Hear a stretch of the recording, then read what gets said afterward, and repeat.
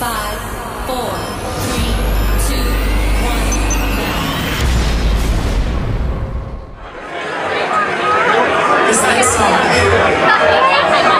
is actually an up-tempo song off of my new record. I love you. I love the lyrics so much. I actually wanted to do I for you guys. It talks about a relationship being so wonderful. It's almost too good to be true. You don't know if it's a sweet dream or a beautiful nightmare.